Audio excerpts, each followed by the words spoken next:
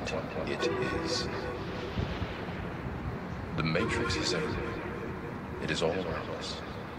Even now, in this very room. You can see it when you look out your window or when you turn on your television. You can feel it